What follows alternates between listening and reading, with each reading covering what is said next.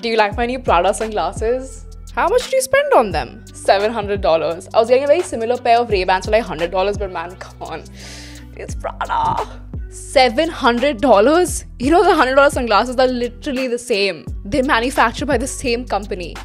What do you mean? More than 80% of the major eyewear brands, including Ray-Bans, Vogue, Chanel, Dolce & Gabbana, Prada, are designed and retailed by the Luxottica Group.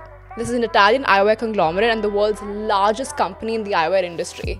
Really? So you're saying I spent $600 extra for just the brand name?